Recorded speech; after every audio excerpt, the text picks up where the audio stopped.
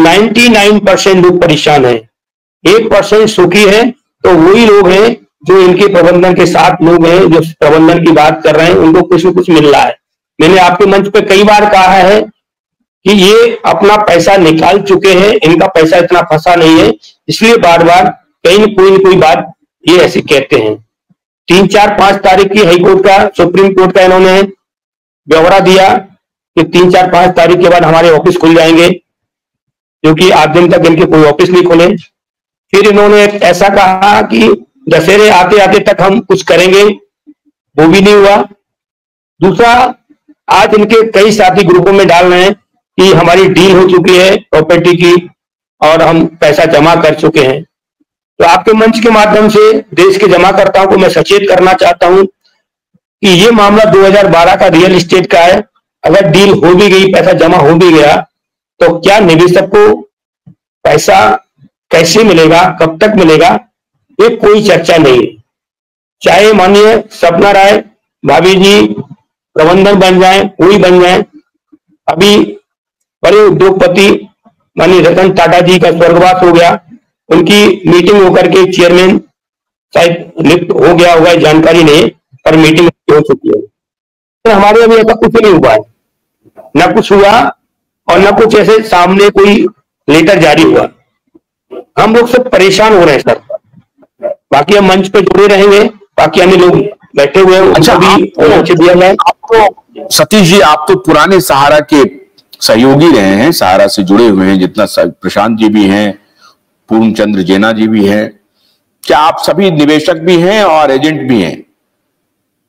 जेना साहब। देखिए सर पहले अगर कहा जाए जहाँ कहीं भी अपन किसी सीढ़ी पर पैर रखते हैं उसको प्राथमिकता पहले दी जाती है। हम सबसे पहले निवेशक हुए। निवेशक होने के बाद मैं दूसरी बात पूछ रहा हूँ। मैं पूछ रहा हूँ कि क्या क्या सतीश चतुर्वेदी से अगर पूछा जाए कि सहारा ग्रुप का अब चेयरमैन किसे होना चाहिए? कौन अधिकृत रूप से सहारा को संभालने की स्थिति में है हालत में है? क्या सुब्रत रॉय सहारा जी की धर्मपत्नी है, वो संभाल सकती हैं, या उनके जो दोनों सुपुत्र हैं, वो संभाल सकते हैं?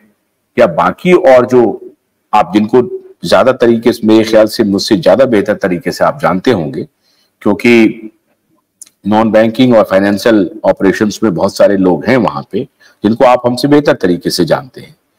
उनमें से किसी को आगे आना चाहिए उनके भाई को आना चाहिए?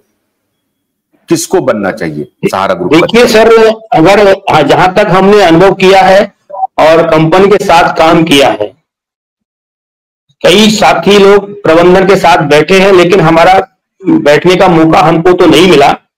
लेकिन ये ज़रूर सुना है जब सारा शहर लखनऊ में जाते थे तो माननीय सपना राय जी पढ़ने में भी तेज है और मैनेजमेंट काम करने में भी तेज है कंपनी चलाने में उनका हाथ रहा है। और उन्होंने अपने पति को आगे स्वीकार किया और पदवार उनको हमारा पीछे से उन्होंने देखा है। बाकी सब देश के सामने, निवेशक के सामने, आज वर्तमान में सुब्रत राय के बाद ओपी श्रीवास्तव मंच पर आते थे डीके श्रीवास्तव मंच पर आते थे। ये हमने 20-25 साल के दरमियान में इन तीनों लोगों को देखा है।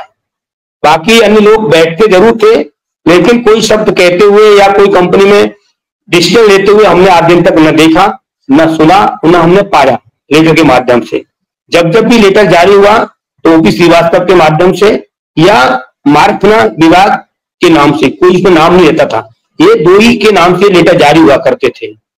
तो अब वर्तमान में कौन प्रबंधक रहेगा, कौन नहीं रहेगा, ये तो कंपनी के लोग सर समझेंगे, इसमें हम क्या कह सकते कौन होगा, कौन नहीं होना चाहिए बाकी तो होना जो अगर बायोलॉजी के हिसाब से कहा जाए कमेटी उसकी